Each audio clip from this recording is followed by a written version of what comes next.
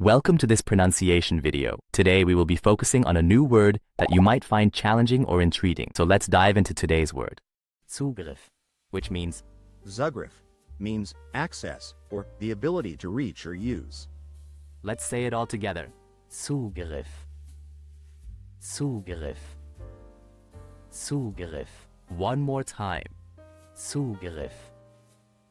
Zugriff. Zugriff.